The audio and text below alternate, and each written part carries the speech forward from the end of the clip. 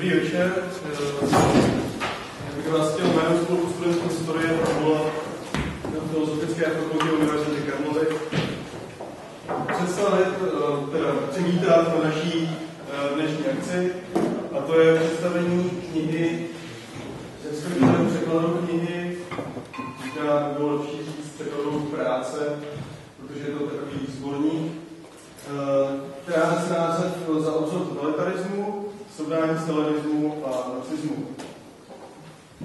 Eh, ještě jsem zapomněl dodat, že vlastně ta dnešní eh, prezentace je spojená spoluprací s nakladatelstvím Akademie.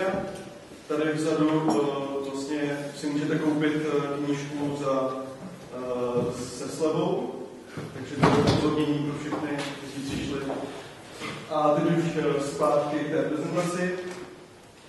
Pozvání eh, na tuto prezentaci přijal eh, za překladatele Jan Nevart eh, z Filozofické fakulty Univerzity Hradce Králové. Dobrý večer.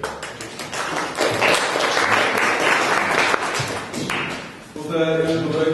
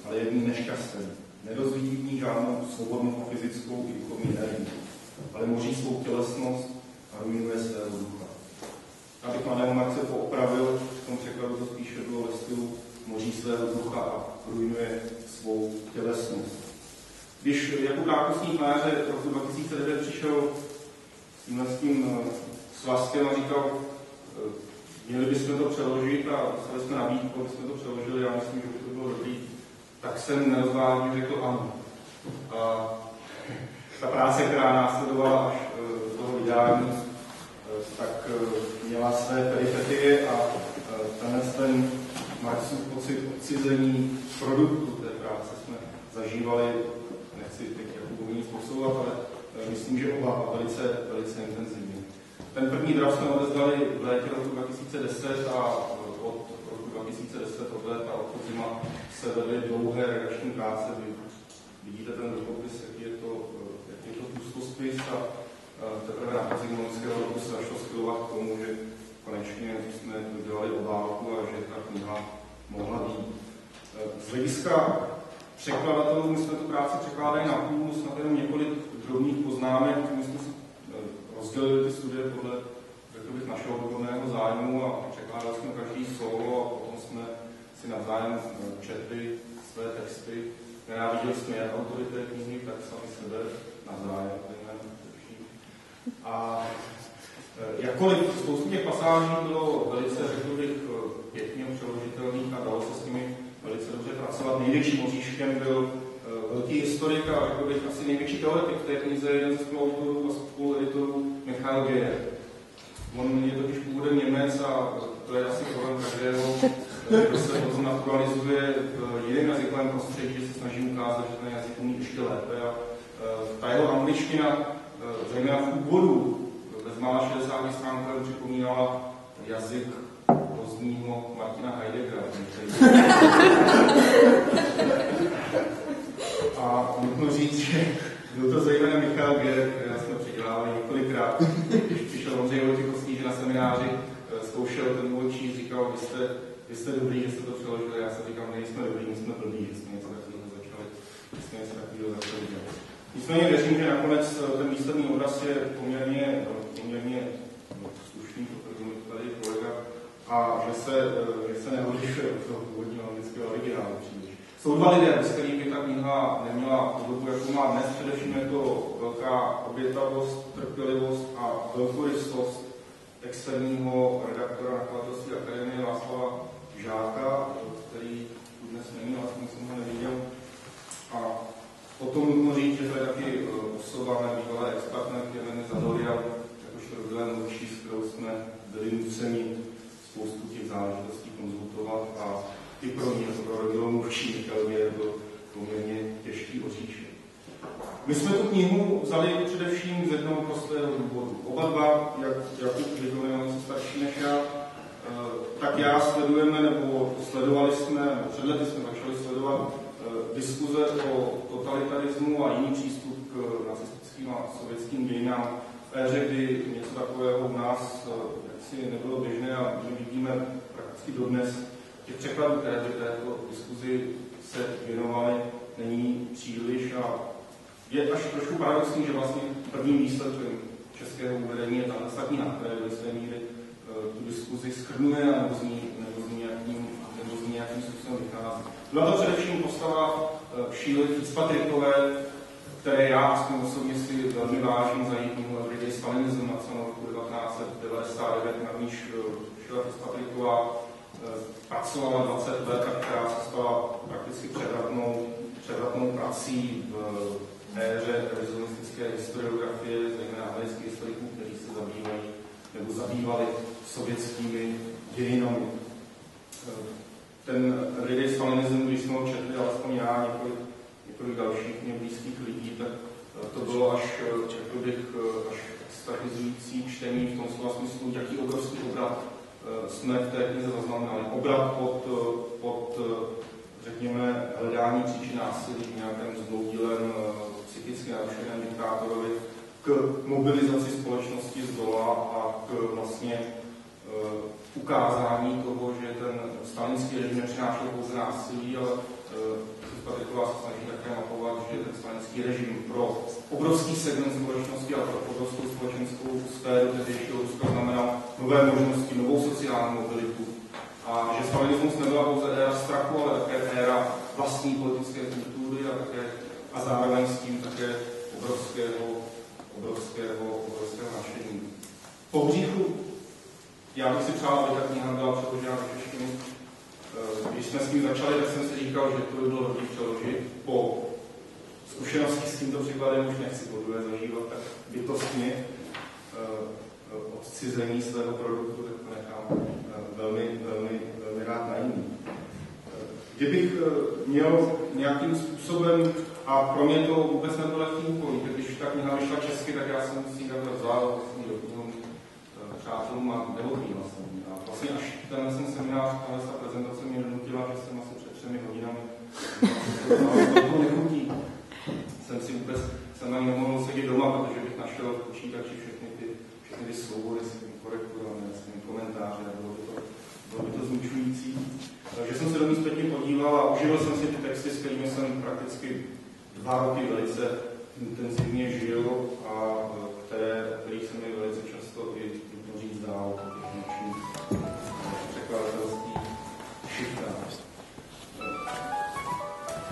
Vy sami můžete vidět, že na té knize se podílela celá řada autorů.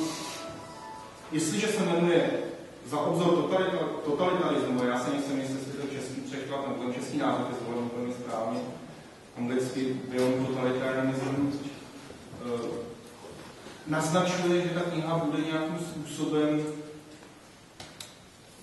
revidovat tradiční pojetí totalitarismu. Já musím na úvod říct, že ona do jisté míry totalitární paradigma reviduje, na druhé straně ho ale ani zcela neopouští. Kdyby ho pustila zcela, kdyby vyšla do radikální revizionistické polohy, kde prostor pro totalitarismus by nebyl žádný, nebyla by možná vůbec žádná komparace nacismu a stalinismu. Do jisté míry je to tak, e, řekněme, pozdní výsledek e, diskuzí, jež se po otevření sovětských archivů a po pádu, řekněme, sovětského impéria a dalších východoevropských států otevřela. Ten výsledek je do jisté míry jakýmsi kompromisem mezi radikálním, mezi radikálním revizionismem a mezi tradičním totalitárním schématem. Nicméně i přesto se autoři, to, co autorům jde, je především vymezení se vůči tradičnímu komparativnímu pojetí, my to známe z českých, my to známe z českých překladů, ať už to byl, ať už to byl eh, nebo, nebo Houbery, eh, stalinské Rusko, především na pozicích dvou diktátorů a dvou, řekněme, nesměřitelných eh, sil z říše, z říše zla, směrem k analýze, která bude mapovat a teď především nikoli v podobnosti obou systémů, byť některé studie z té, z té velké práce podobnosti, podobnosti stalinismu a vytýkají, ale především to, v čem se ty systémy odlišují.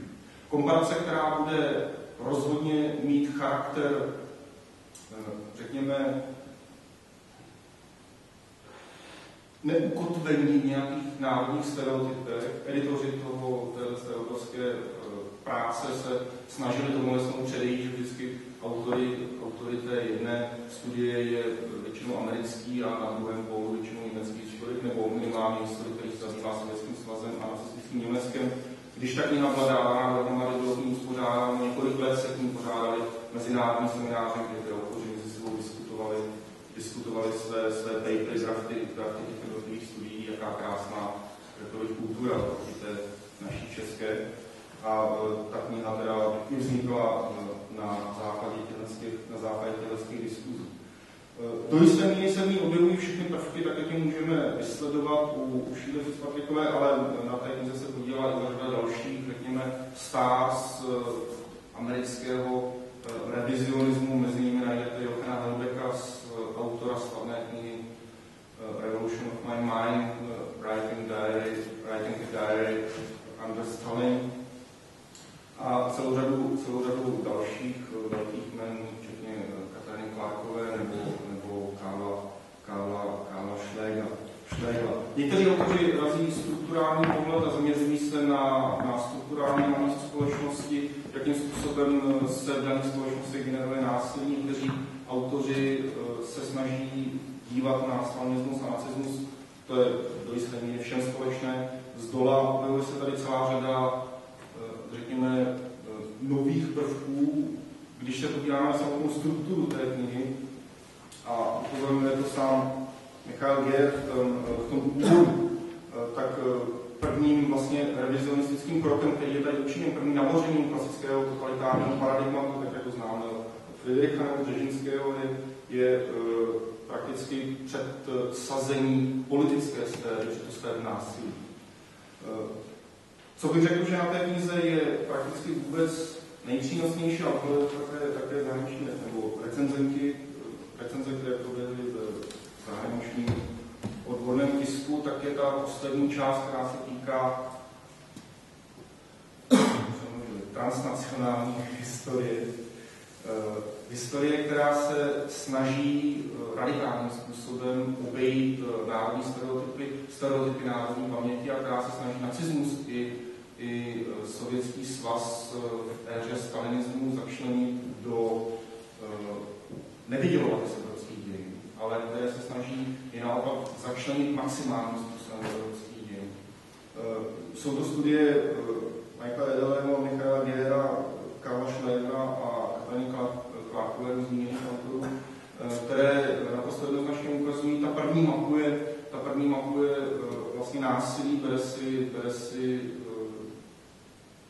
používá pojmu spojení totální války, teda odvození z původně z Clausewitze, hovoří o brutalizaci násilí a o dynamizaci násilí. A prakticky celá ta ese je potom, je potom, je potom shrnuta, že to je prakticky odraz dlouholetého evropského vývoje několika dekád, první války, revolucí, neklidný. A že sovětsko-německý konflikt v tomto prakticky představuje jakési, jakési vyvrcholení evropské totální války do jisté míry v až skoro absolutní, skoro absolutní podobě.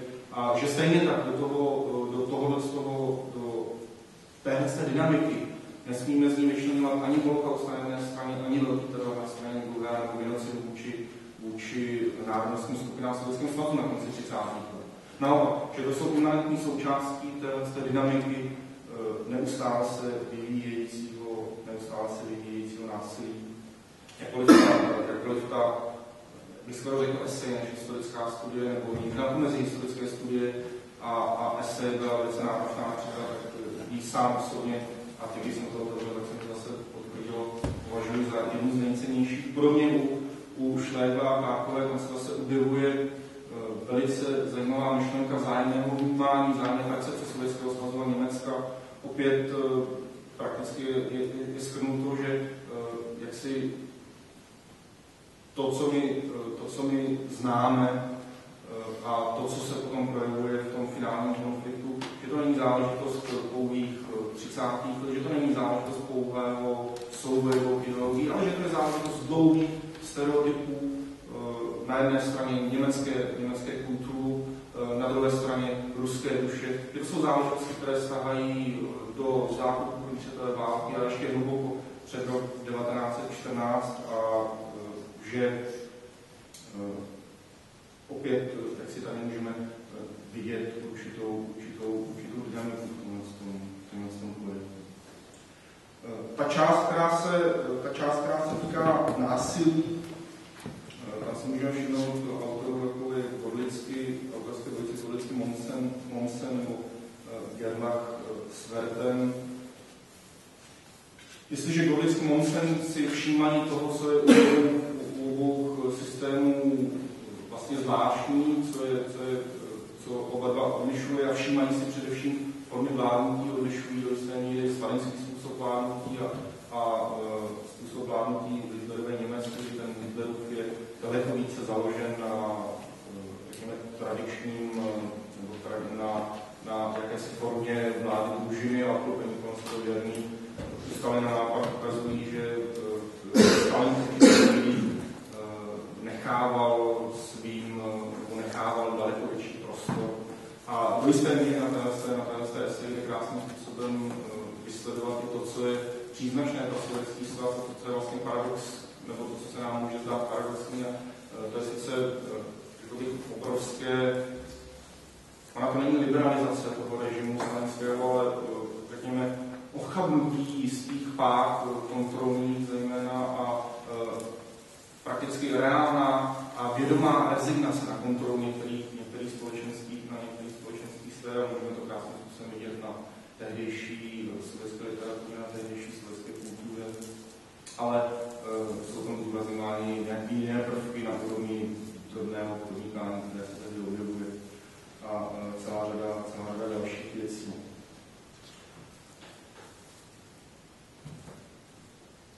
Podobnosti naopak eh, zmiňuje autorská dvojice Báberovského a Derina Mantoifla, kdy oba dva státy označují, nebo oba dva státy konceptualizují pod pojmem impérium a impérium, a to především impéria, které se, které se uh, nějakým eh, vlastním způsobem vyvíjí. A v němž se násilí generuje na základě, na základě pocitu ohrožení. Ať už to ohrožení přichází na základě třídního, národnostního nebo, nebo rasového. Tahle, tahle studie daného soudu představuje možná z hlediska, z hlediska totalitarismu nej, nejtradičnější, nejtradičnější záležitost. Ono těžko se ta kniha zasazuje do českého prostředí a do české historiografie a do, českého, do české recepce vlastně 40 leté éry komunismu. U nás do dneška nebyla napsána, nebyla napsána 50. léta prismatem Šíleky Spatikové a jeho, jejího everyday stalinism. Daleko nejblíže, když se to době objevují, daleko nejblíže pořád na soudu Vladimír Macura v tomto tématu a daleko nejblíže jsme při eh, těmto tématům a tématům, které se, nebo těmto konceptům při využívání ještě další daleko nejblíže jsme to při výzkumu normalizace 70. 80. let pro ta 50. let mám pořád pocit, že, že si to nemáme dobře kloudně zasadit. Ostatně krásně to ukázala diskuze, respektive spíše nediskuze. Uh, úvodní, úvodní studie Vítězslava Somera z Hlubý dějina 1 2012, která udělala obrovské rozhořčení v té sféře historické obce, která, která zastává koncept totalitarismu, byť ten koncept hovořit, kolega, měl dokonce sobě výsledky, to jsem Čili já jsem to uzavřel, teď jsem tady z takových nesystematických poznámek určitě toho spoustu vynechal, ale není třeba řešit příliš dlouho. Já jsem velmi rád, že ta kniha, že ta kniha mohla být, nicméně do jisté míry vnímám paradoxně, ona reaguje na určitou diskuzi, je výsledkem určité diskuze a je až je depresivní, pro mě vždycky depresivní, když se ocitnu nějaké zahraniční knihovně s okolností gro toho svého překladu jsem, jsem dělal v New York Public Library v New Yorku a strašně to štvalo, že můžu si prohlížet jiné knížky, ale když se podíváte na ten seznam literatury, to je prostě to je, to je depresivní. Člověk, kdyby teď se do toho vrhnul, tak nemůže všechno obsáhnout. Eh, takže eh, na jedné straně jsem strašně rád, že ta knížka vyšla. Myslím, že může otevřít nový prostor i metodologický, byť jejím, jejím, eh, jejím jistou slabinou je, že protože když mi přijde učitel dějepisu na střední škole a řekne si tak, tak podle toho budou čísla na tak bude asi bezradný. A když mi přijde mladý historik a řekne si tak, teď mám konečně knihu, že dostal nápis Patriková a já teď napíšu jinak ty dějiny, tak mám pocit, že bude stejně bezradný, protože uh, ten úvod věru je, je říká, trošku heideggerský, ale jako obsáhlý instrument totalitární diskuzi uh, ukazuje to totalitární paradigma, ale uh, vlastně nikde skoro není ukázána nějaká to jasná metoda prostě, která by řekla, tak tohle je to a my se toho Možná myslím, že ten projekt byl příliš ambiciózní, ostatně tak hovořili i recenzenti, a e, možná někteří autoři vlastně zamlčují, co vlastně v té komparaci přinášejí nového a v čem by vlastně viděli budoucnost komparativního výzkumu tohohle z toho, těchto z těch témat e, třeba v 21. století. No tak to z mé strany asi všechno, třeba když to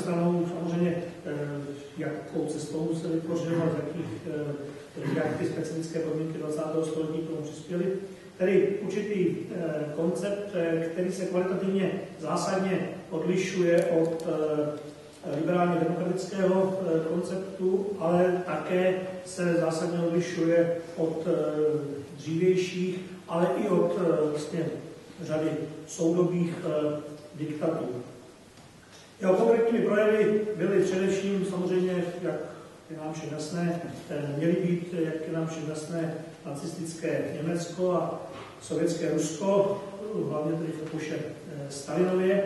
Eh, I když samozřejmě víme, že existují pokusy a způsobem na ně vlastně narážel tady je kolega Mervan, pokusy tedy vlastně rozšířit jeho platnost na ještě jiné země, včetně tedy Československa a jiné, jiná období, v podstatě tedy na dobu až do někdy, jakoby dost často, na dobu vlastně až do roku 1989.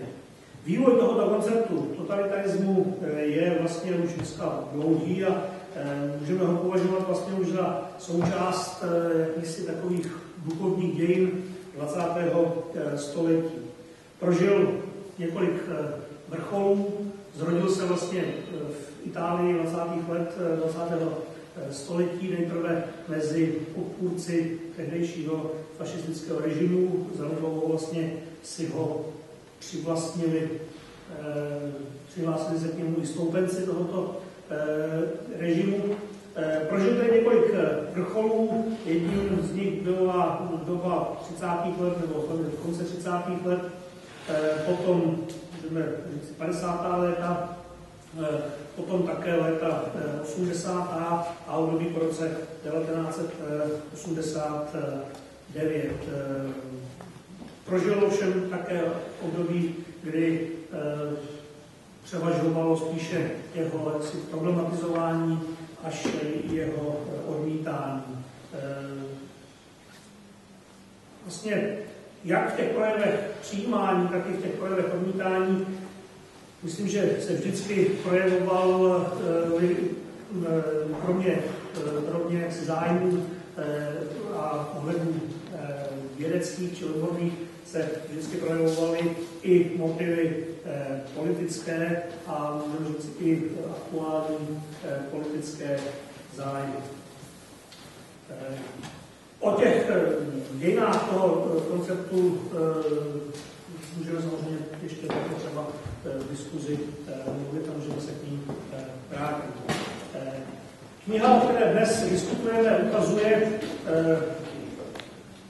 podle mého názoru tedy to taky chápu, že totalitarismus jako tento svébytný politicko-mocenský koncept vlastně neexistuje, ale zároveň tedy chce ukazovat svým čtenářům, že je nejenom možné, ale i, ale i nutné srovnávání e, režimů, které e, jsou považovány za totalitní nebo totalitaristické. Že je možné a nutné srovnávání různých rysů, jejich různých stránek politického, politického, společenského a duchovního e, vývoje.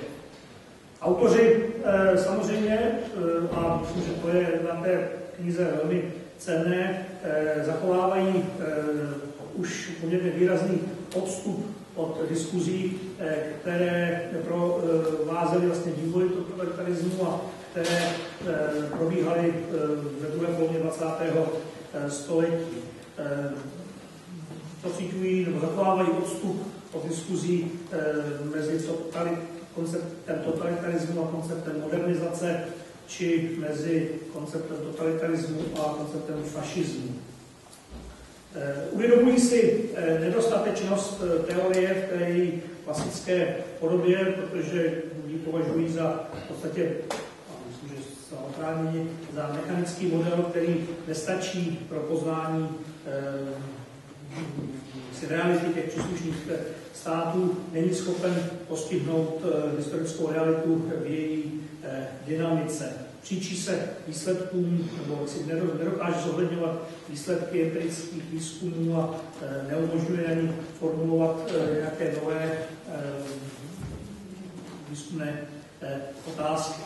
A všem, všem tedy samozřejmě nevzdávají se úsilí zkusit pochopit oba zkoumané režimy jejich celku.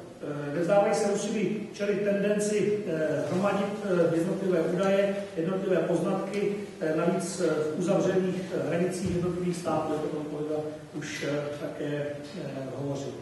Tu knihu tedy chápu jako pokus srovnávat, hledat podobnosti a rozdíly, ovšem bez sjednocujícího rámce oné teorie totalitarismu.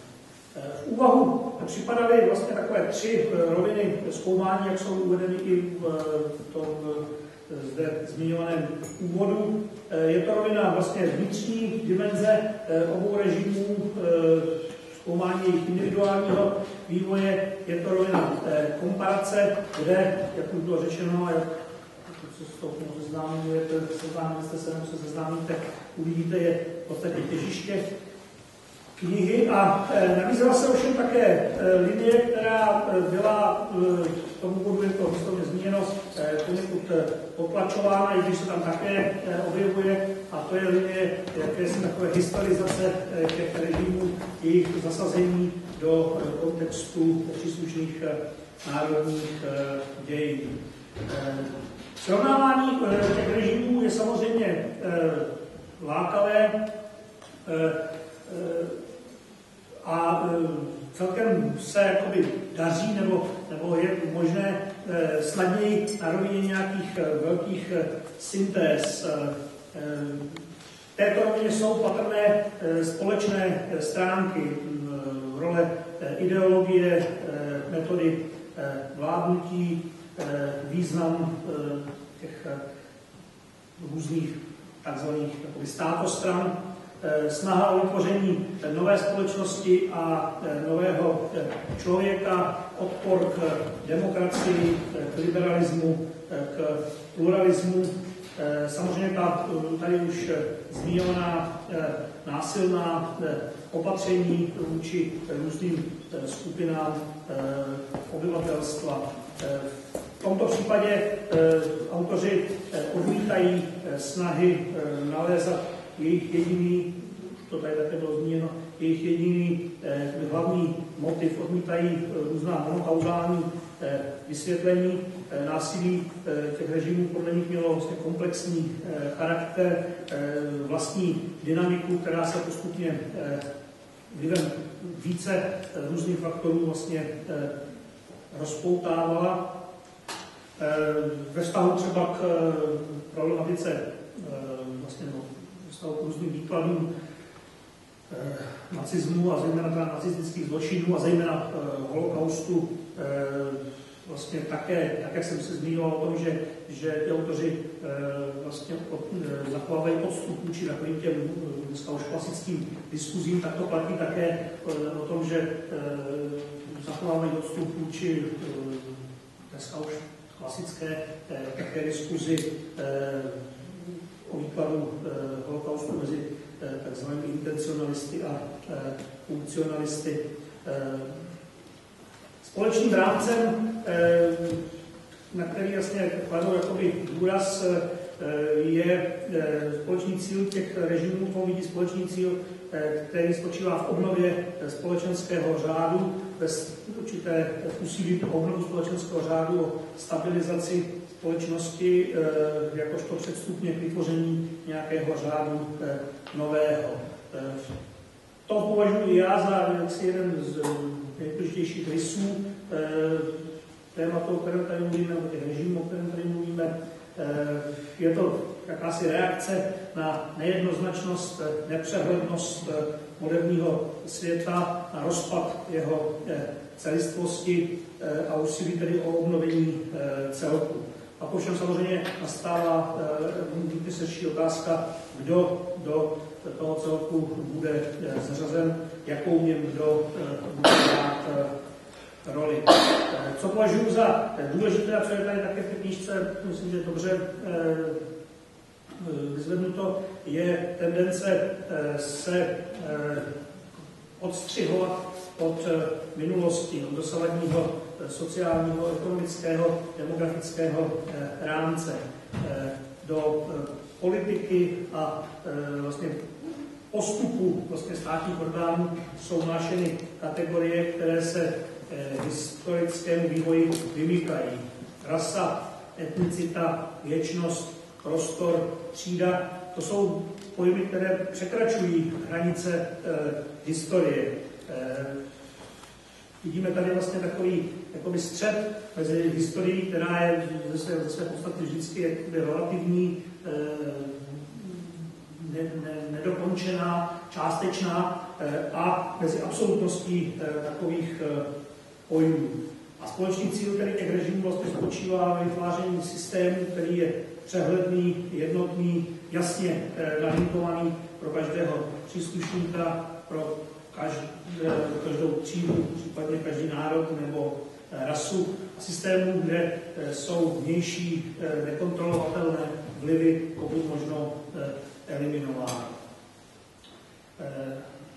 Na rovině konkrétních témat samozřejmě potom je to srovnávání poněkud problematičtější.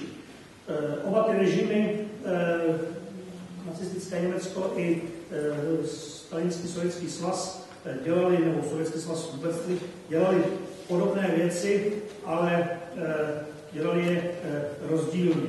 S takovým zjištěním v podstatě, samozřejmě celkem banálním zjištěním, vlastně padá ten koncept totalitarismu jako příliš omezující. Podobnosti jsou na jedné straně samozřejmě zřejmé, ale jde o to, jaký mají charakter a z čeho vyrůstají. Zda plynou z určité logiky, nějaké tedy blízkosti, příbuznosti, vnitřní kvalitativní příbuznosti těch režimů, nebo zda jsou dány obecnou potřebou řešit podobné problémy vlastně ve stejné té moderní době. Už tady bylo řečeno, že autoři jsou přesvědčeni, že vlastně nemá smysl tedy zařazovat režimy do šablony totalitarismu, ale nelze se vzdát toho srovnávání.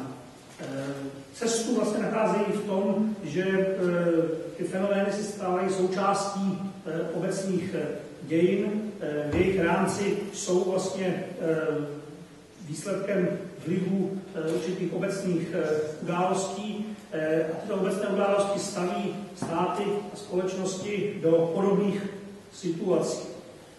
V těchto podobných situacích ovšem existuje možnost odlišných řešení.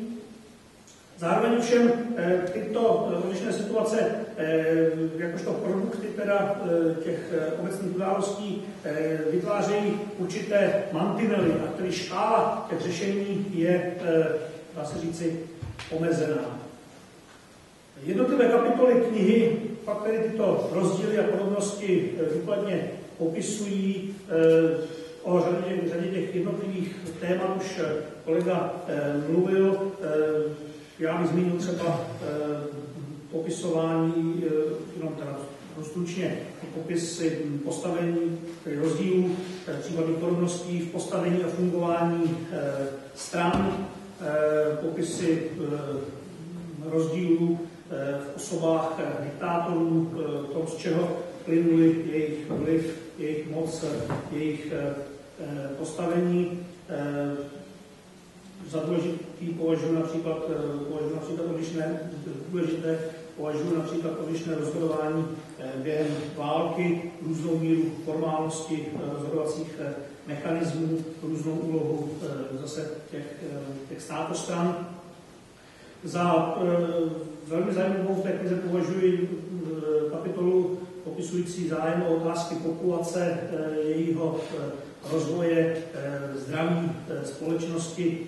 Zase v tomto ohledu na této rovině byla přijímána rozdílná opatření, když ten, společný, ten zájem byl společný, ale opatření byla rozdílná. Rozdílná byla také východiska přístupy této problematice. Za zajímavé považuji také kapitoly nebo kapitolu popisující představu o ideální rodině, o jejím fungování, rozdělení rolí v ní,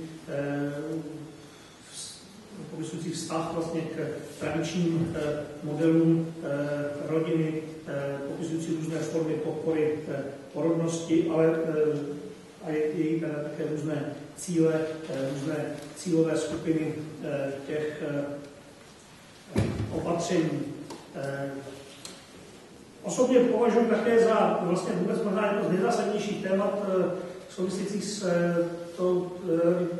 totalitarismu a s touto tematikou Považuji tu zmíněnou tady už snahu o vytvoření nové společnosti a nového člověka. Dá se říct, že toto je také společné teda oběma těm režimům, zároveň všem mezi ideální představou nového člověka v Německu a nového člověka v Sovětském svazu existují významné rozdíly. Nový člověk v tom německém pojetí, nacistickém pojetí, tedy si bychom asi říci, je, je Ariec, je to hrdina oproštěný od historických, citových, sociálních vazeb. Konstitutivním rysem je samozřejmě rasa, která zároveň tvoří vlastně nějakou nepřekročitelnou hranici. Bylo nutné udržovat e, čistotu e, rasy e, proti nebezpečí, znečištění, kontaminace. A vlastně skutečná válka se vedla pouze navenek, ne vlastně uvnitř toho společenství. Tento nový člověk eh, je v podstatě možný pouze eh, v Německu. A proti tomu nový člověk eh, v tom sovětském podání je produktem historického vývoje, který je objektivně nezastavitelný, je stělesnění historického pokroku a vlastně patří do osvícenského konceptu ten model, který sleduje, má vlastně univerzální platnost. Je to možnost otevřená eh, komukoliv. Stačí pouze a pouze nahlédnout ony objektivní historické eh, zákony. Kdokoliv má tuto možnost zákony eh, poznat, zákony nahlédnout a přijmout.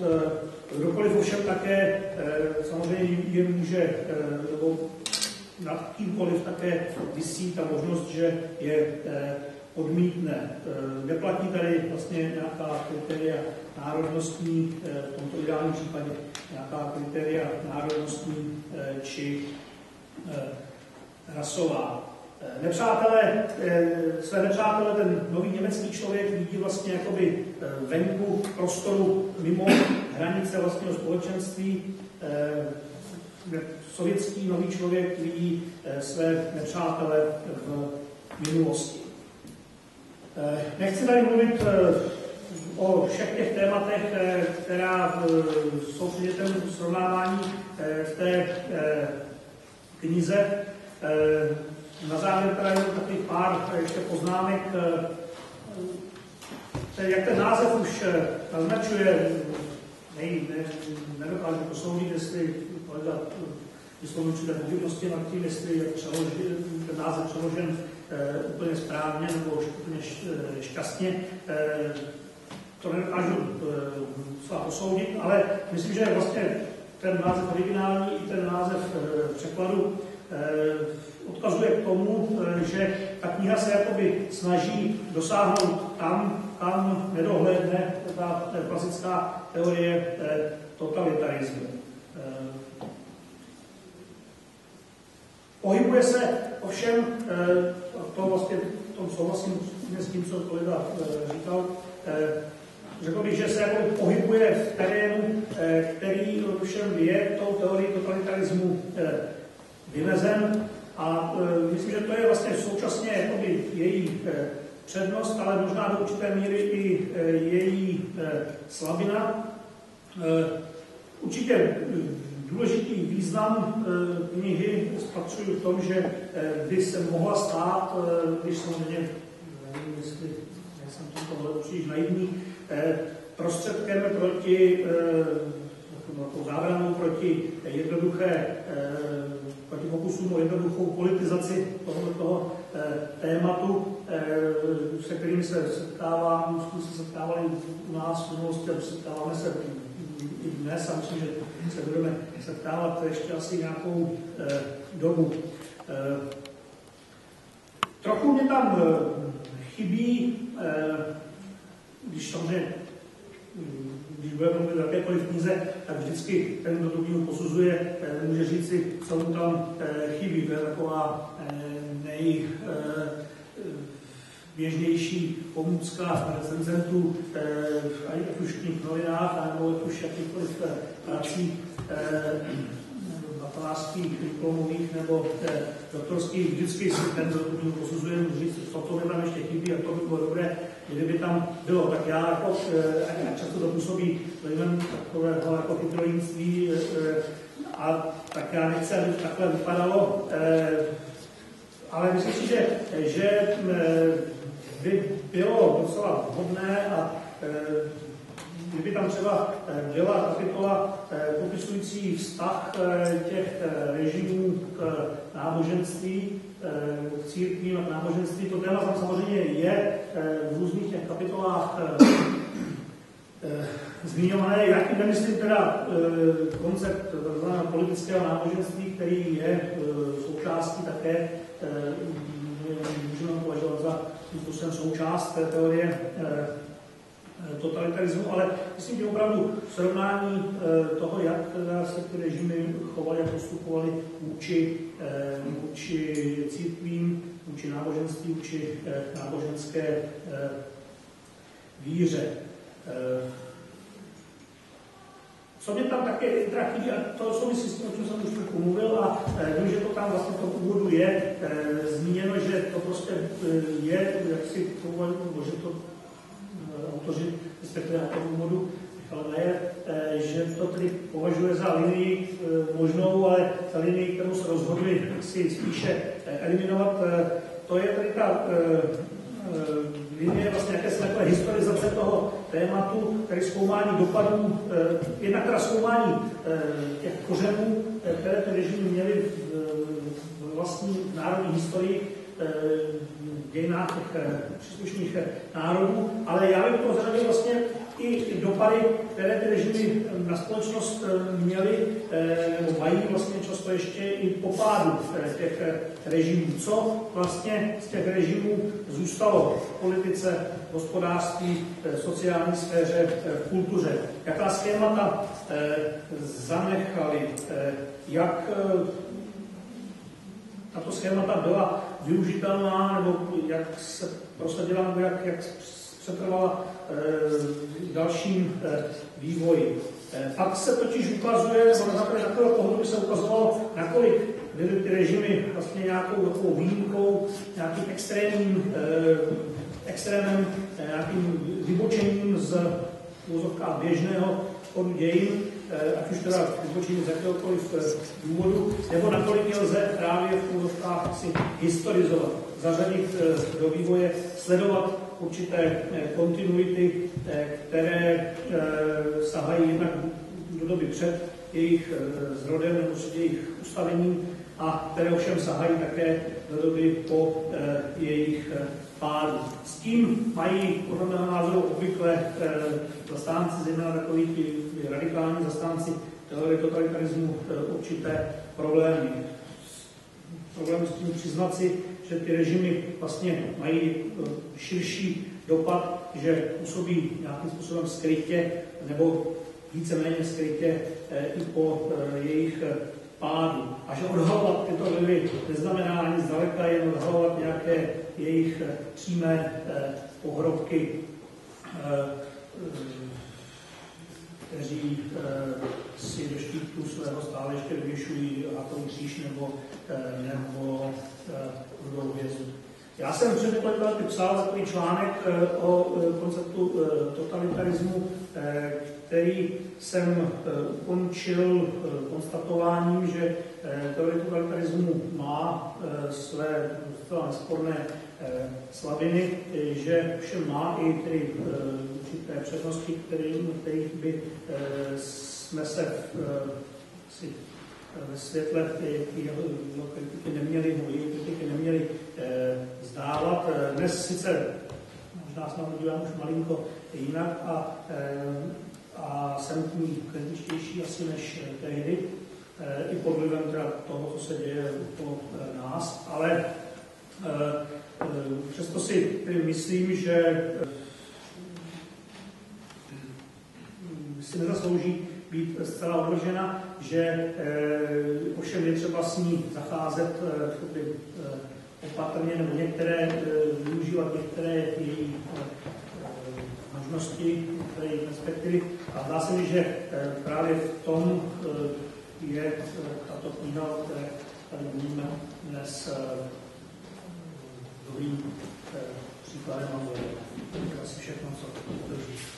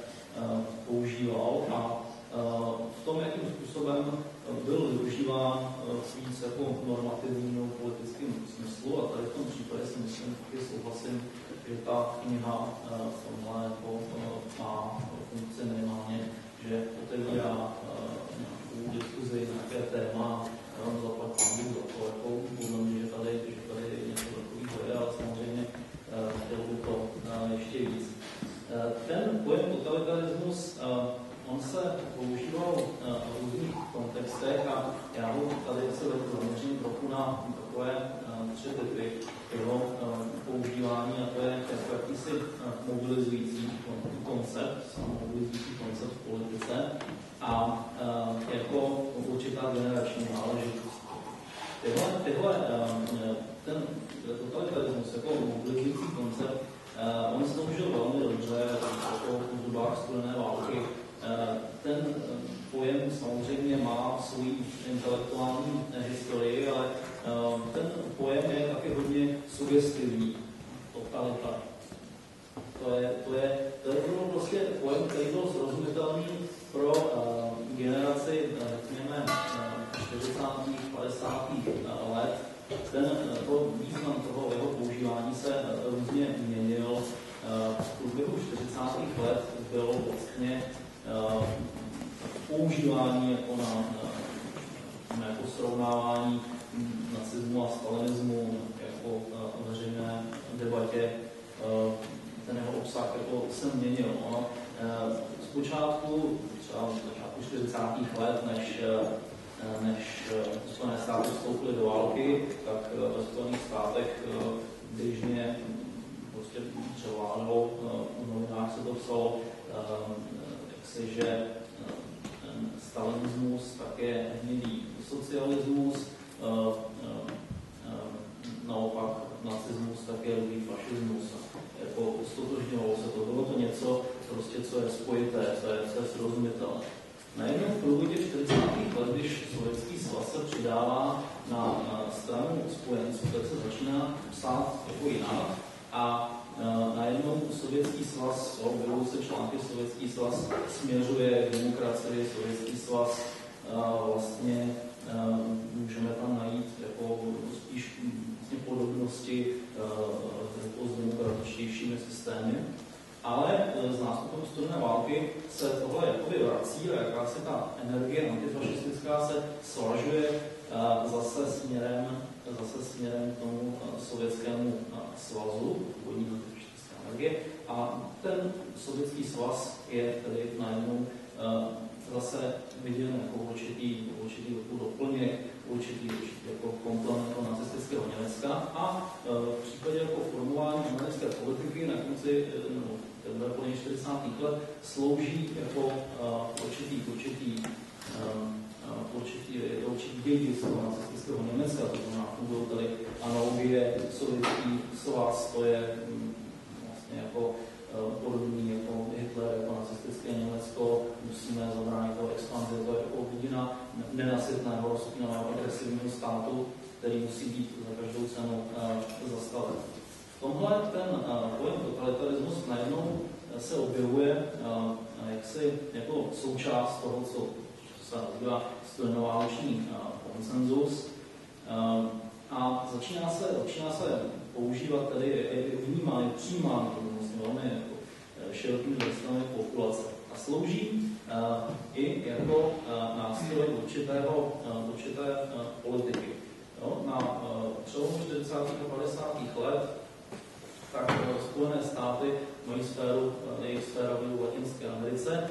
Pojem totalitarismus slouží vlastně jako uh, uh, politické zdůvodnění, proč třeba Spojené státy podporují zpřátelené diktátory. Na začátku 50.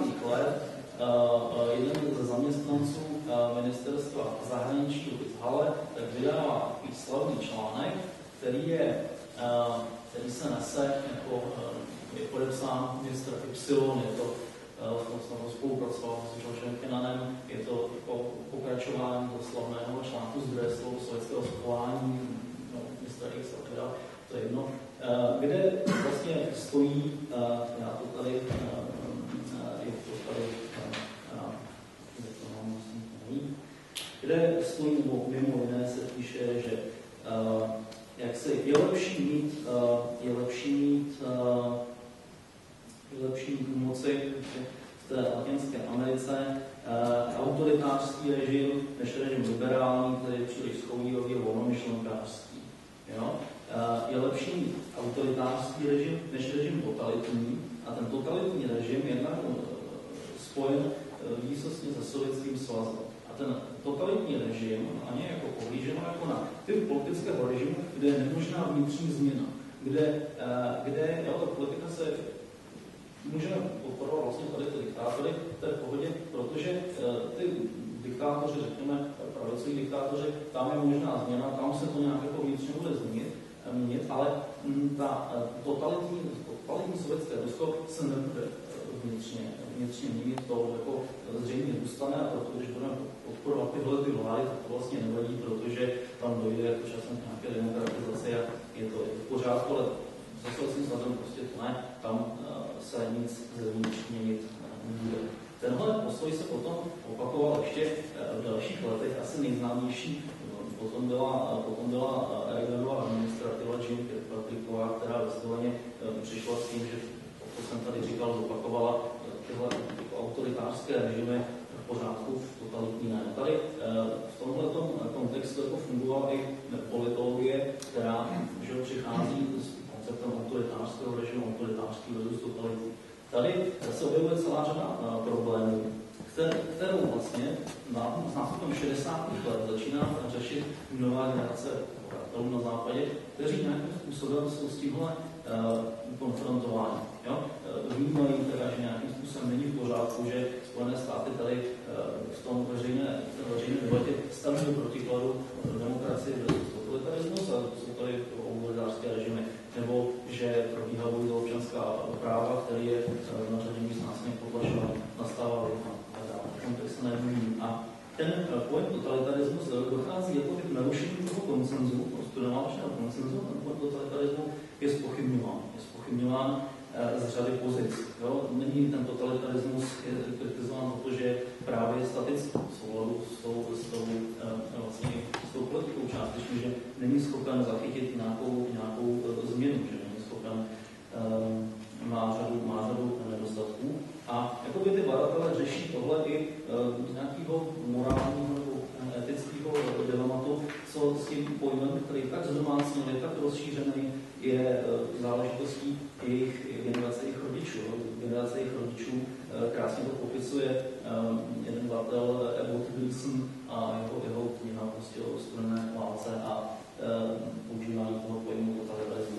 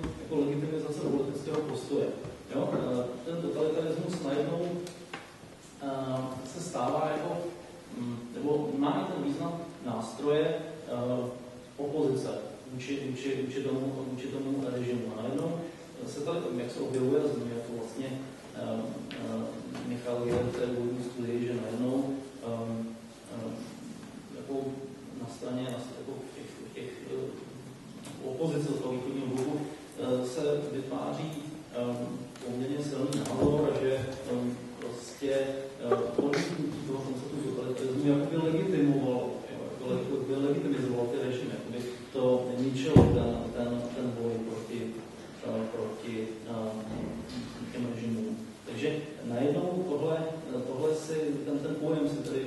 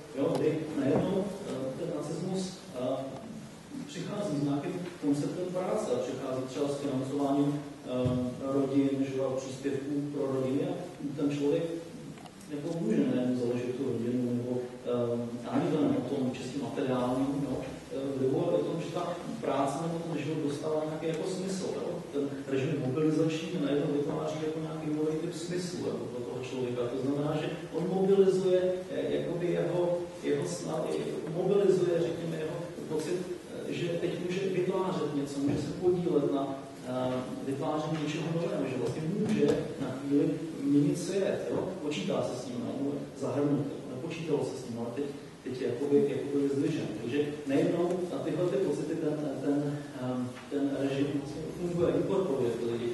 A tohle, tohle, tohle je to hodně, hodně silný, zvláště dnes, kdy si myslím, kdy hrozíme, kdy, kdy čelíme ztrátě toho příběhu.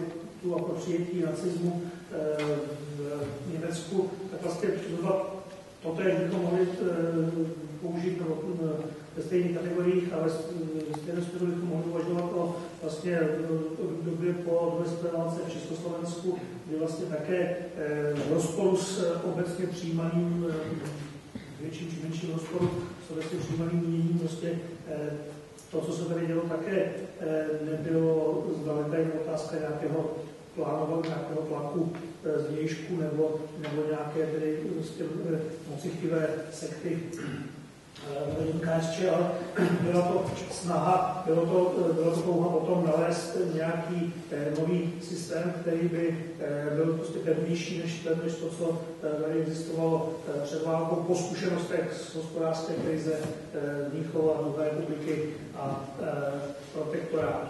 A ještě eh, takovou taky ještě kratoučkou poznámku, jak zase kolega Fiala hovořil o tom vlastně v 50. letech já jsem to, to zmiňoval, že teda ten koncept totalitarismu zažíval jeden ze svých vrcholů ve Spojených státech v souvislosti se studenou válkou zemí, kde ten koncept totalitarismu byl mimořádně jaksi frekventovaný a mimořádně intenzivně přijímaný, že to by bylo Německo, byla tedy západní část Německa, Německo, kde sloužil vlastně jako v podstatě základní zdroj legitimity toho systému tedy demokratického systému v té rodící se spolkové republice a jako vlastně prostředek, kterým se, kterým, kterým to zdroj, kterého získávali legitimitu a ze kterým se vymezovali vůči jednak teda, nacismu a jednak ovšem také,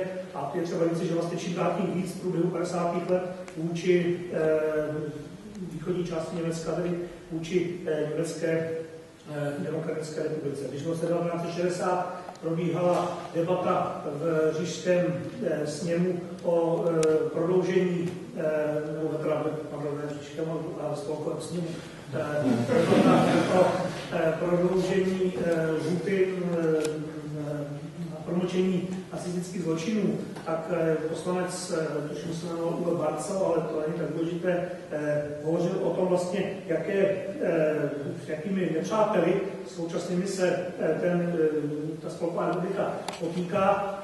Zbýval právě samozřejmě přirozené dva, nacisty, nacismus a, a komunismus v podstatě, ale dodával, mezi nimi je v podstatě rozdíl. Hitler už je mrtvý, ale Ulbricht ještě žije.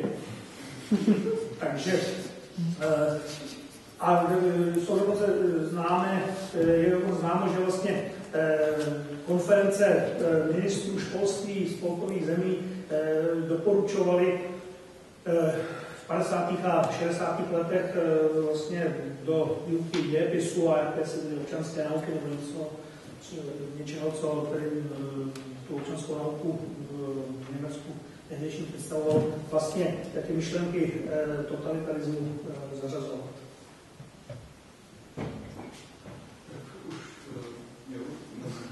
Tak teď už máte prostor diváci.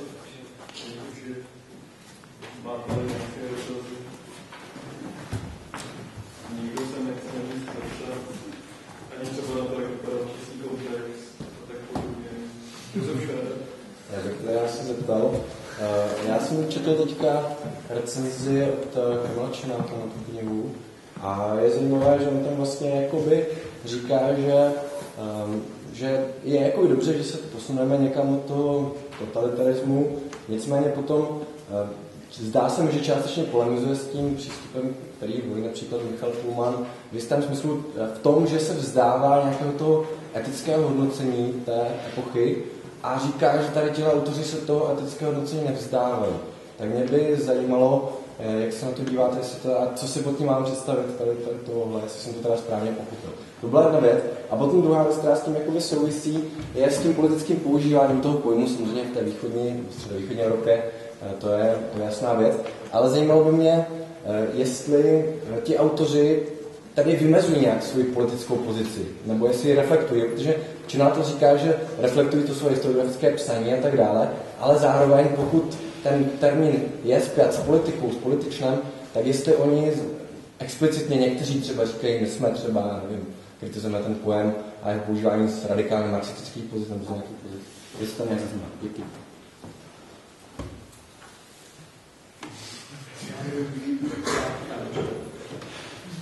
Já začnu té poslední otázky.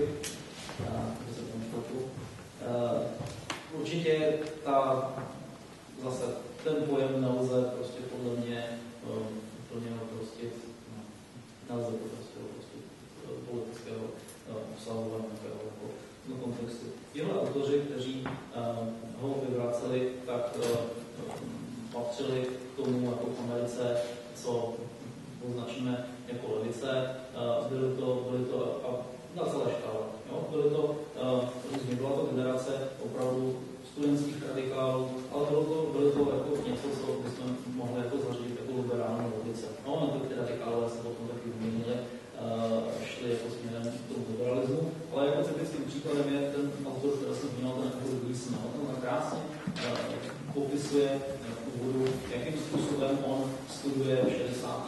letech a jakým způsobem je jako konfrontován s tou realitou, účastní se těch, účastní se těch jako demonstrací a masových protestů a, a začíná jako se zvědomovat, co ten, co ten pojem totalitarismus najednou jako, jak, jak je používaný. Takže uh, asi to bych jako teď většina těch kritiků šla někam jako od středu, od středu doleva, naopak uh, jako s nástupem zejména jako neokonzervativní pravice ten pojem začal uh, jako sílet a začal se používat v takovém jako statickém opravdu smyslu, takže já si myslím, že to od nějaké politické pozice a ten druhý taky hezky popisuje současně jako uh, s, s nějakým odkazem na současnost, že, jako, že s nástupem, uh, jako, ať už to bylo, jako, zase je zajímavý, s nástupem Reagana dochází třeba jako ke zvyšování jako financování jako institucí, které jako studovaly uh, totalitní uh, no,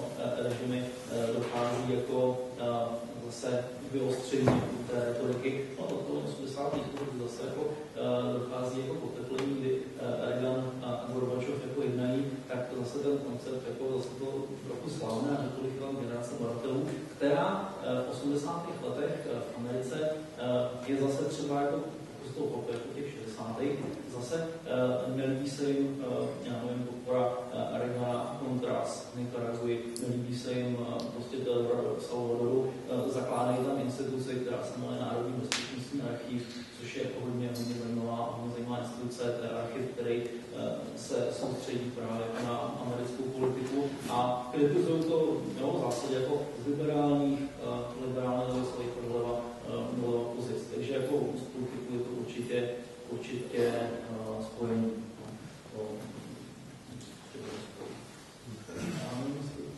No, vlastně s tím, s tím souhlasím, ono to od té politiky vlastně nejde, protože to jsou spojitý národy.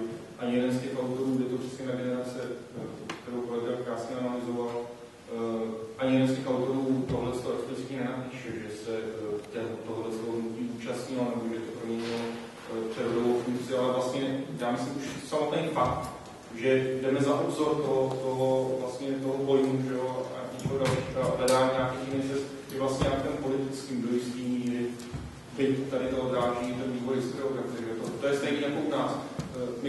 Michal Trumna byl předmluvit v knize taky napsal o sympatii v levici, já to svých textů taky nepíšu a málo kdo z naší generace a stejně, když potom někdo napíše kritiku, tak si to spojí. Jo.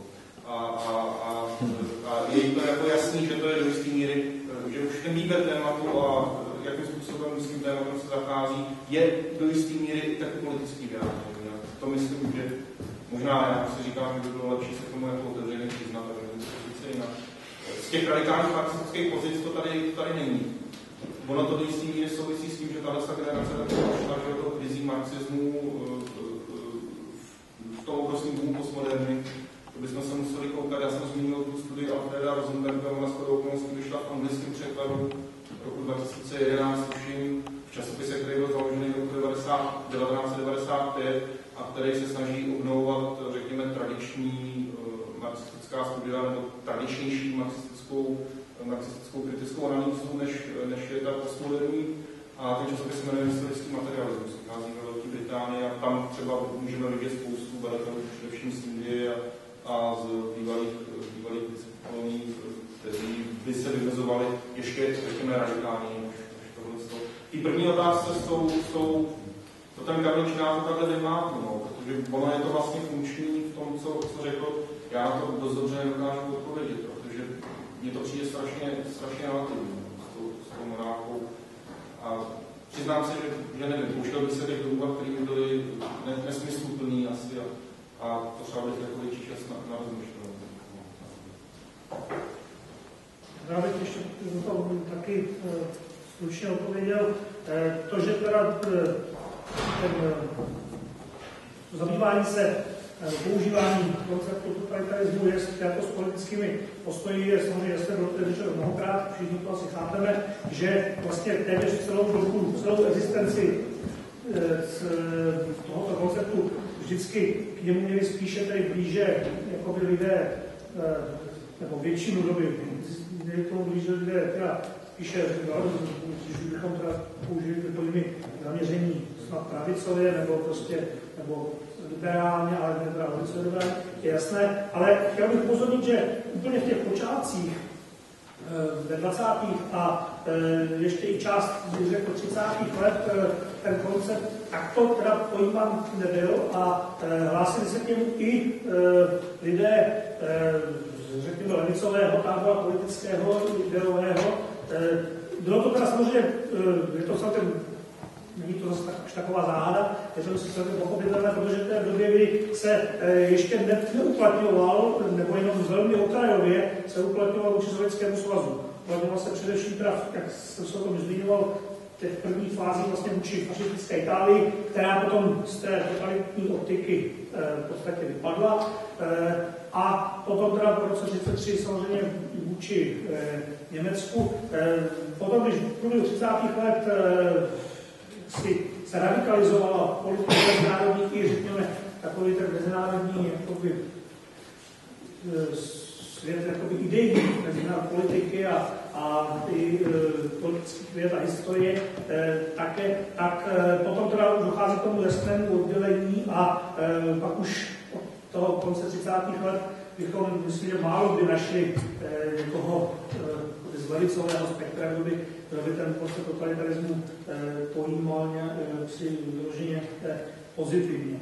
Co se týče toho, té otázky, jestli teda může sloužit jako, jestli jsem tak pochopil, jestli ta otázka zněla asi tak, nebo zatím byla ta otázka, jak jste se ptal, jestli teda může sloužit, jestli když tedy víme, že země nemůže sloužit jako dost dobře jako spolehlivý nějaký nástroj poznávání a analýzy, tak jestli může sloužit alespoň jako teda nějaký etický eh, ukazatel, nebo nějaký eh, jako, eh,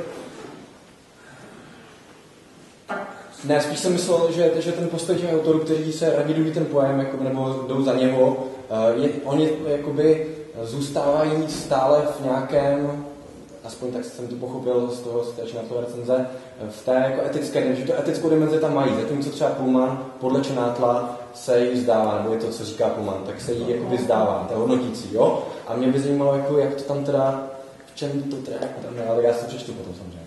No, no, tak, no, to si že v té knize to jako, nezdá se mi, že by to tam bylo nějak eh, zrovna tohle přítomno, ale já jinak teda ten problém taky cítím, ale taky se mi zdá, že jestli něco z toho jakoby má e, nárok na to nějak zůstat, když to tak řeknu trošku utáhnout, tak, tak se mi zdá, že to je právě tenhle ten jako etický moment, to vyzvednutí toho, že přece jenom, že teda ty režimy, e, nevím, jestli to patří do takové debaty jako do odborné, protože to už právě směřuje trošku jinam, ale přece jenom si myslím, že e, to, to možná tomu ukazuje, že teda ty režimy, které popisují, že prostě to jsou e, režimy, které teda jako z etického hlediska hodnotíme, eh, no, měli bychom hodnotit eh, spíše negativně, ale je to samozřejmě složitější, zejména, zejména teda se musí, i pokud bychom na té rovně zůstali, tak s tím musíme zakázat opravdu velice opatrně a, a samozřejmě je absolutně absurdní, aby se to používalo v tom smyslu, jak třeba kolega Fiala zmiňoval, teda jako klacek vůči oponentům, kteří, kteří našim politikům kladou nějaké eh, nepříjemné otázky. To je potom jako samozřejmě úplně, úplně mimo a je to naprosto, naprosto jaksi zneužít to, když takový příklad bychom asi našli, našli víc, že to bohužel opravdu jako klacek na oponenta, ale jako něco, čím odhalujeme, nebo jako nálepku, kterou dostávají údajní pohrobci. Já teda, abych odpověděl na tu první otázku, No, jasně, eh, to, že, to, že tam není etický, etický eh, že to je ztráta etického horizontu, to je klasická námitka, která se to zase jako um, opakovala v těch 60. letech, když přišli, uh, když, když Herbert Kitchell nebo Beeson právě jako přišli, tak samozřejmě ta jasná námitka byla, ale je to, realit, je to relativizujete. Uh, samozřejmě, to je jako uzavření nějakého morálního horizontu. Jo. Já na to můžu namítnout jednu nebo, nebo dvě. E, jako, pokud bych jako, pokud uzavřu ten morální horizont takovým způsobem, pak se uzavírám prostě cesty jako dalším zkoumání, jako dalších rovin. A uzavírám se třeba eh, cestu k tomu, abych to jako aktualizoval vůči dnešku, abych, abych jako chápal jako některé ty roviny, které vlastně ta teorie totalitarismu uh, zase v tom, jo, v tom statickém chápání jako uzavírá a stává, stává se z toho to, že o čem, o čem píše Slavoj Žižek, že to, z toho stává ten hyperbol, že to, že to zakazuje vlastně myšlení, že jako určitý věci o něčem, o něčem už se prostě jako nepatří mluvit, jako o tom, o tom, o tom jako to nechme jako tady být, no, to, ale já jsem se naopak, že je to, je to třeba loterie vlastně právě jako z těch etických uh, důvodů, protože jestliže se jako tady zastřem nějakou, nějakou uh, diskuzi, jestli se jako zastřem nějaký, nějaký otázky, zastřem, uh, budeme tam mít a nebudeme do toho zkoušet jako proniknout jako v těch stav. Myslím, že to je, to je špatně. No. Uh, já jenom uh, vlastně, já, já k tomu, to, jak se, to, jak se ten pojem jako různě využil proti protivníkům a proti nebo určitých politik, tak oni potom i sami, sami někteří ta autoři, kteří jako v těch 50. letech jako tvořili a když třeba ta politika jo, potom hodně politizovalo a třeba to sloužilo právě jako obhajobu diktatur, eh, tak oni sami říkali, tak toto jsme nemysleli, jako zase tímhle způsobem. No, v té samotné, já jsem si říkal na dnešek, že si že si pročtuli to, to klasické dílo Friedricha Březinským a ono se tam jako objevuje tam spousta rozporů. Oni, i když uh, vytýčili jako těch šest jako slavných kritérií, tak je to tam vlastně rozporovaný hodně. No, tam je, tam je, já jsem tady si vzal nějaký, nějaký citáty z toho, kdy oni tam říkají, že ta totalitární diktatura jako je teda něco nového, je to představuje to jako inovaci, a na druhou stranu jako nesmíme, nesmíme to zapomínat, že uh, ten režim tomu se na jiném místě zmiňuji, nedokáže kontrolovat všechno, všechno ani tomu sám nevěří. No, třeba on říká, že teokratické režimy se snažili proměnu člověka, nejde o žádnou novinku, bylo by třeba nutné označit totalitní středověké kláštery, protože to je charakterizována jako kontrola. Jo? E, na jednom místě jako říkají, e, říkají, že e, ten totalitní režim tak nějakým způsobem se zřejmě vnitřně nezmění, na jednom místě jako říkají, ale vlastně může se změnit, to, co my víme. Jo, to, já to nechci jako nějak parodovat, ale že sami to řekl pochybují, sami, sami jako, jako kladou jako vlastně otázky a uh, navzdory tomu, že se tím když to pohání, tak uh, to nebylo jako slovně statistiky, jako koncept, který by měl jako úplně sloužit jako nějakému zavírání, ale je tam spousta rozporů, je tam spousta otázek, je tam vlastně, a když jsem si potom četl některé ty příspěvky, tak jsem si říkal, že sakra, eh, ten Březinský s tím Friedrichem vlastně něco podobného, něco podobného psali, jo, že říkají, jo, že oni tam jako říkají, třeba v případě, řekněme, že, že, že i ty režimy, které označují za totalitní, tak tam jsou nějak jako uh, určitý demokratické postupy, že tam, že tam zůstává nějaké liberální třeba instituce, jo, že, že to jako nemůžeme jako chápat jednolitě. Je tam spousta rozporů, vlastně to uh, samotný dílo, když já si vezmu, tak uh, jako by odráželo ten, ten, ten, ten, jako debatu, ten střed, že to je nějaký statický koncept, a ten oni sami jako určitým způsobem spochybňují a na to navazuje vlastně ta, ta generace toho spochybnění. Takže jako je to klasické dílo vlastně lze podle mě interpretovat uh, jinak a jako interpretovat právě jako s ohledem na to určitý spochybňování. Není to prostě nějaký úplně statický koncept. Není, není to dobrý. Vlastně, abych to stanoviště těch knížek k otázce mám jen jednou větou. On to říká ten Michal v poslední větě úvodu, že uh, jedním vlastně, proč se, proč se vydáváme na tohle komparace, komparace a srovnávání je, je emocionální a v zásadě také morální. Ale ta kniha je víceméně prostá nějakých silných normativních, morálních nebo hodnotících soudů. A tak další dotazy? Já bych se zeptal tady, tady jsme se bavili o totalitarismu v souvislosti s celou společností většinou. A já bych se chtěl zeptat, do jaké míry byl třeba použitelný, nebo jestli byl nějakým způsobem revidován. Pokud se zkoumá třeba prostředí koncentračního tábora, nebo něco takového, třeba, třeba ten koncentrační tábor. To je dost, dost mně to přijde, jakoby, jakoby to tam do jistý míry docela fungovalo.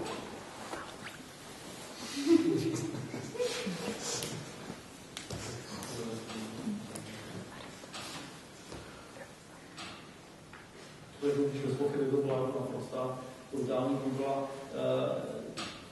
To je bez pochyby, jako, pochyby, no. Eh, Problém je, jak to zachytit.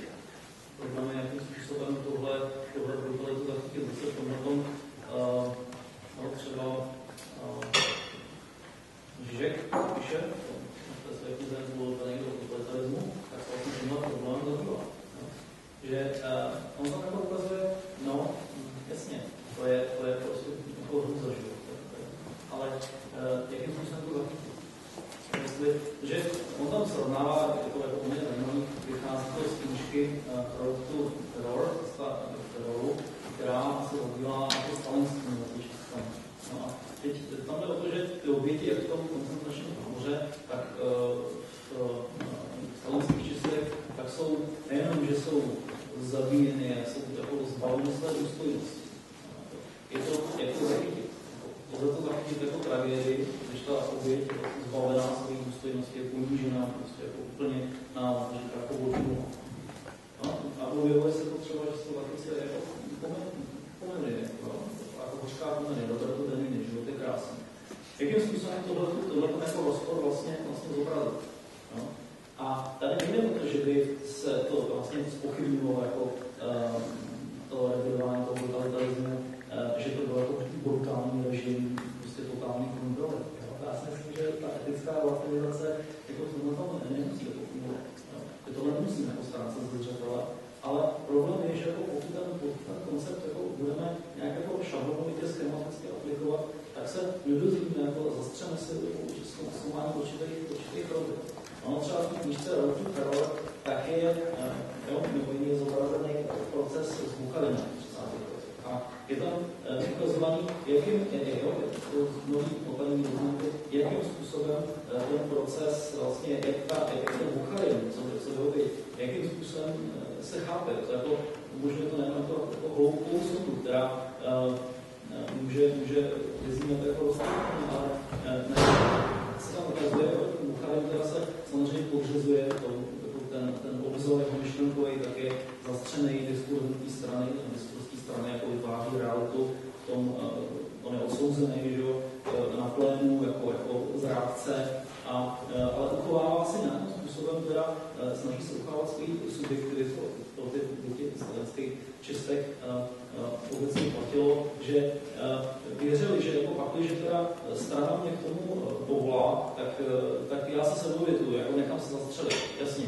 Ale teď je o to, jako soudruze, jako věříte tomu i vy, že já jsem nevinný a nebo ne. Když, když budete věřit, že já jsem jako nevinný, tak um, fajn, plním stranický úkol, uh, prostě půl na smrt. No ale jestli věříte, že jsem vinný, tak já se jako nepřiznám, protože těch bych popřel uh, příslušnost ke straně. Jo, takovýhle, takovýhle dilemata vlastně, s kterými jako se těžko pracuje, těžko se to ukazuje, ale uh, najednou to ukazuje, já bych řekl, že to může ukazovat ten aparát uh, kontroly jako v mnohem brutálnější, komplexnější formě třeba, než když se zastřeme prostě nějaký, nějaký roviny, roviny zkoumání nebo vnímání. A nemyslím si, že jako uh, můžeme jako ztrácet jako obhorizont toho života. Je to brutální. Možná jenom řekl, že eh, samozřejmě koncentrační tábory eh, můžeme považovat, jsou považovány taky že, za, za jeden z takových hlavních rysů vlastně teda toho, eh, těch režimů, eh, jež jsou obecně pokládány totalitní, existence táborů, to, když jakoby like by se měl nějak vyjadřovat k tomu, co, co si pod tím myslí, tak bych asi tábory jmenoval. A druhé straně bližší výzkum táborů ukazuje, a vlastně v té knize eh, to je, když přímo vyloženě jakoby koncentrační tábory tam nejsou tématem eh, těch kapitol, ale, ale ty kapitoly o tom násilí vlastně a tak, tak tam si tomu taky věnuje pozornost. A bližší výzkum ukazuje vlastně zase naopak ten, jakoby, to relativizuje vlastně ten spolu, přispívá k té určité relativizaci toho konceptu a k tomu vlastně zvýraznění těch rozdílů, že prostě ty samozřejmě jakoby je formálně prostě v Dějškově, ano, koncentrační tábory tam vytanoval samozřejmě e, jsou rozdíly v tom, jak byly vytvářeny, kdo se do nich dostával, pro koho, pro koho byly učeny, k čemu vlastně e, měli e, sloužit a tak dále. No, s tím to je, to je, to je otázka, na kterou se špatně odpovídá. Zajímavou, zajímavou esej na tohle se tam napsal vlastně dneska už taky vedle Žižek a jeden z velmi citovaných autorů, když ten si spektrum badatelů Agamben, který myslím, že asi vyšel dokonce český, v tom, v tom krátném, krátném výboru, která, která velice zajímavým způsobem tematizuje to téma koncentračního tábora. Já si nemyslím, že ten, že ten koncept toho klasického totalitarismu byl, byl na to úplně funkční, ale to by bylo asi na další, na další debatu, ale chtěl jsem vlastně v souvislosti s tím, mě napadá, že je strašně zajímavé, třeba známe, že čtení Orwella, tak jako četli disidenti ve východní Evropě.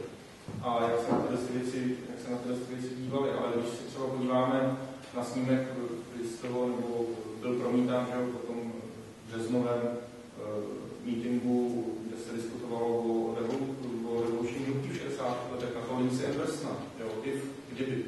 Jo, tak to je přeci tématizace úplně uh, podobná, že jo? To, je, to je lágr, ale přenesený do té, do té britské boarding school. Jo? Vezměte se na kapitolu, disciplín, že jo? Teď to prostě, teď to prostě jede a ty hlavní hrdinové nedělají nic jiného, než prostě vůči tomu systému, který je velice komplexní, revolutní. A to je čtení vlastně toho, nebo do jistý míry použití toho totalitárního paradigmatu vlastně evropskou nebo anglos, nebo anglo, nebo tam evropskou a americkou tradicí. A Herbert Marcuse se taky jako nezdá, že Spojené státy jsou, jsou, jsou jako v zásadě totalitní, totalitním jako systémem. A dokonce používá to když ne, ne tak, tak tohle to vlastně taky, taky zajímavé.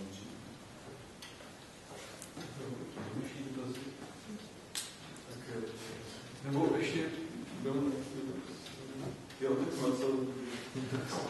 No, já jsem, tady jsem mluvil o tom, uh, taková o tom, o tom problému, jako přiznejme se k tomu, jako uh, když píšeme takhle, jsme levičáci, jo, když to zjednoduším a, a to. Ale uh, ne, není třeba alternativní vysvětlení tohohle jakoby posunu prostě k tomu revizionistickému v úvozovkách vidění prostě to, toho systému, jak to fungovalo na východě, jo, v těch, v těch zemích. Spíš třeba ne, ne, ne, nedá se to vysvětlit alternativně třeba takým tím posunem prostě k sociální historii spojeným, jo, který začal prostě od 80 let. A, a vlastně takovým jakoby metodologickým pohledem, prostě pohledem ve změně metodologie, to znamená posunu od uh, na politiku se zaměřující historie, která vysvětluje prostě většinu jevů na úrovni, uh, co se dělo uh, prostě v ústředním výboru v Sovětském svazu a jaký tam prostě do, do, došly jako jo, a sledování těch personálních biografií a jo, a posunu prostě k té mikrohistorii, jo, sledování Smolenského archivu a, a, a prostě etablování nějaký, nějakého obrazu, jak fungovalo úplně v té nej, nejvzdálenější vesnici, jako na úrovni nějakých, jo, taky vlastně na úrovni nějakých osobních vztahů, ale ne, ne v tom prostě elitním ešelonu, ale úplně někde na, na, na nějakém úplně běžném místě, jak, jak to prakticky fungovalo a že to mohlo znamenat i inkorporování vlastně původně těch imperialistických elementů, jo, až takovéhle věci. Ne, ne, nejde teda jakoby spíš třeba o tohle, jako když, když se bavíme uh, nějak o těch zdrojích a, a směrech a proč.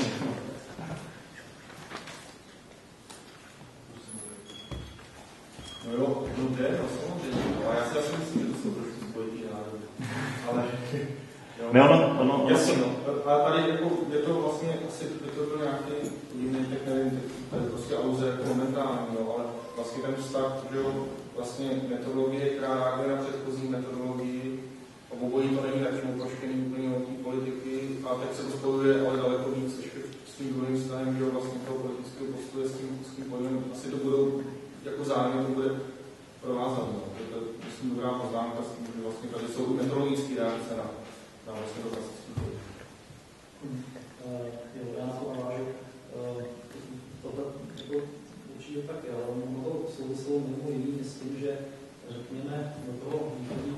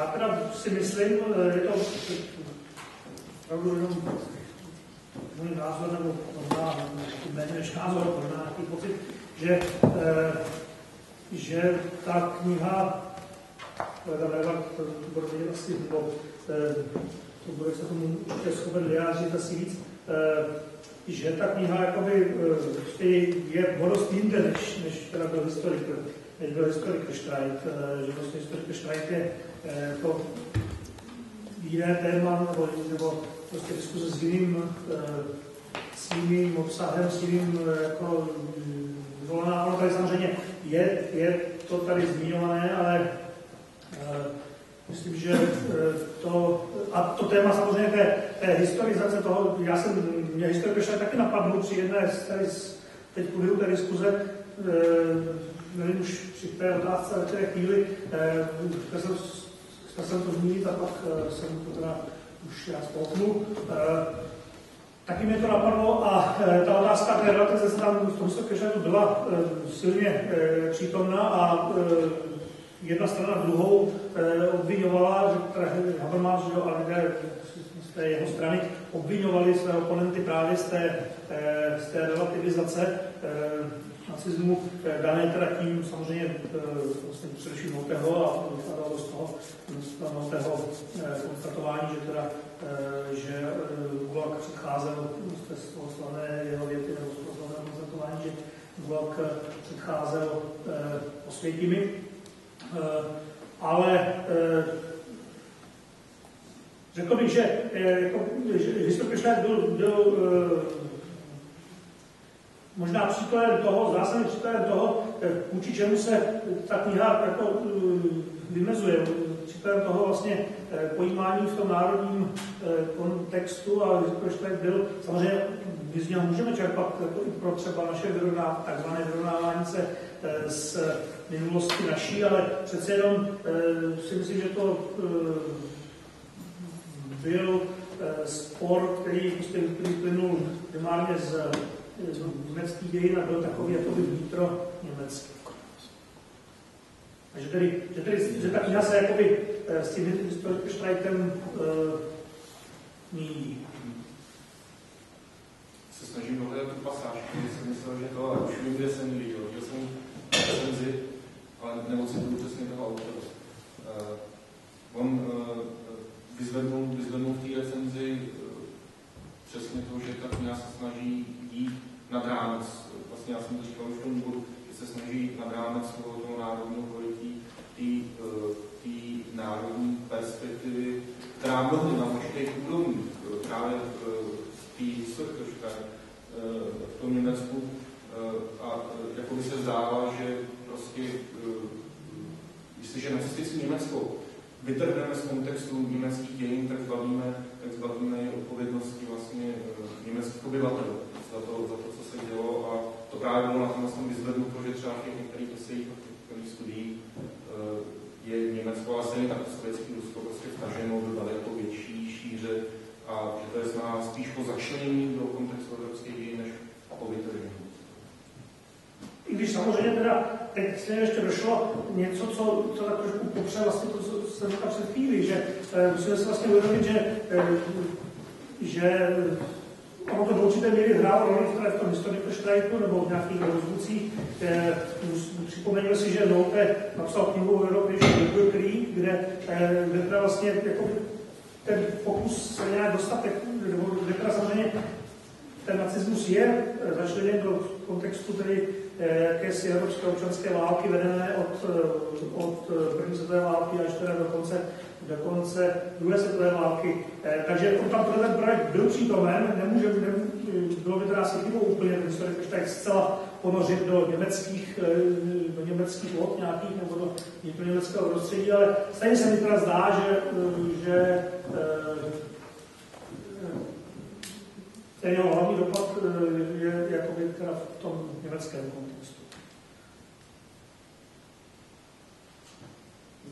Já v skutečnosti asi jenom k tomu, asi, asi s tím, co říkal tady kolega, že ten dopad byl v německém kontextu, budou se tom, ta debata byla zajímavá v tom, že o tom, jestli byla koncentrační tábor, přivedla jako vlastně první světový válce, že najednou ta ukázala, ta mašinérie, co všechno vlastně jde třeba s tím státem dělat. Jo? Co všechno jako může mít, může mít um, někdo v rukou a tak dále. Ale uh, to, to bych třeba tady u uh, toho totalitarismu, toho zkoumání, uh, uh, to souvisí s, tou, s tím, s tím pojetím technocivilizace a, a, a tohle mašinerie, která prostě jde světové války, tak většinou ty teorie moc, jakoby, no, nejenom ty teorie, moc jakoby neuvažují ten totalitarismus, který řekl jako jeho jádrem, je jako představa vše kontrolujícího, vše prostupujícího státu. To tam jakoby, to se uplývá. A no, je tady problém, že jakoby se nezdůrazňuje, tak to cítím, nezdůrazňuje se jako ekonomika. A řekněme moc na jenom ekonomiky. Třeba je to ten stát, který to má tu moc, ale co ekonomika? To je sféra, má také velkou moc. A najednou um, tohle si myslím, a to je, to, myslím, jsem teď jako deficit obecně třeba um, politologie, ale umění se, že jako neuvažuje interakci těchto těch dvou rovin. Že máme nějaký politický uh, režim, politický systém, no, má to své specifika, to uh, zakotvení, má politické procedury, jak fungují, jak fungují a ale nejenom to je jako sféra ekonomiky. A ta sféra ekonomiky je strašně důležitá. A uh, ten pojem totalitarismu se vlastně nám najednou objevuje, tady zmínil Jan Markuzel, on se objevuje i uh, v v jiném podání, třeba americká politická filozofie, tak uh, poměrně nedávno přechází uh, s konceptem uh, nevím, jestli to přeloženo uh, úplně adekvátně, obráceného totalitarismu, inverted totalitarianism. Ten koncept je takovou jako reakcí právě na to, že klasický koncept totalitarismu je zaměřený tedy na to, že moc je nějakým způsobem centralizovaná, je uh, tam vůdce, je tam strana a tak dále. A najednou ten, ten převrácený totalitarismus uh, se věnuje jako uh, ekonomické sféře, reaguje na totální trendy a věnuje se jako prorůstání ekonomiky do státních struktur a co z toho vlastně vzniká. Jo? Jakým způsobem jako naopak ta ekonomika má tak velkou moc, jak uh, korupuje ty státní instituce, mění vůbec celou politickou kulturu, jakým způsobem jako mění uh, jako svět od nás. Jo? A uh, ten, ten pojem se najednou v zvláštním kontextu objevuje, ten autor jako vlastně přebírá v zásadě tu klasickou klasický paradigma Fredrika Březinského, která ho nekritizuje, ale říká, jako chápejme ten totalitarismus jako nějaký ideální typ, ideální typ, jako myšlenkový obraz, který, se, který můžeme aplikovat na, na, na systém sovětský svaz a zkoumat, do jaké se mu, se mu přiblíží a můžeme jako konstruovat teda jiný ideální typ, který nazýváme totalitarismus, můžeme aplikovat jako na současnost a na jako nárůst jako ekonomiky, na nárůst jako vlivu korporací, na nárůst vlivu velkého biznesu, na nárůst jako těchto trendů. A do jaké míry, říká, to nebude jako srovnávat, že žijeme v nacistickém Německu, ale je to prostě jiný koncept, je to představa jiné formy, jiných forem kontroly, jiných, jiných forem, řekněme, podřízení života postulátům ekonomiky, podřízení společnosti postulátům ekonomiky. Znamená nějaká představa určité jako ideálně kritické ekonomické totality, do jaké míry vlastně směřujeme a do jaké míry ne. No, na tohleto téma jako probíhá debata jiný, jiný britský politolog zase napsal poměrně slavnou práci už před pár lety kolem Crouch postdemokraci, jo, ale i jako klasik, třeba, třeba Robert Dahl, tak kritizuje, se zabývají, jakým způsobem ta expanze ekonomické sféry narušuje vyváženost mezi tou sférou veřejnou a privátní a kolik nejenom ta ekonomika má vlastně velkou moc a v jaké míře má velkou moc. Takže jo, to je jenom takové doplnění. Děkuji všem za dotazy. Jestli byste náhodou ještě nějaký můžete pořád to byl čas. Tak ale protože už jste asi znali. Tak já bych chtěl poděkovat všem hostům, přijali pozvání a přišli. A mluvili. A vám, že jste přišli, že jste se taky ptali. A nezbývá mi, než vlastně vás si dovolit ještě pozvat na akci, kterou budeme pořádat příští týden ve stejném čase. Tentokrát v jiném prostoru, v prostoru studentský, studentský klub K4 v Zlatné ulici a budeme mít vlastně debatu večerní na téma antikomunismu, které je víceméně tak nějak propojeno s tím, co tady zaznělo já tak trochu personálně, každopádně. Pozvání na další akci spolu studentů. A děkujeme vám, že jste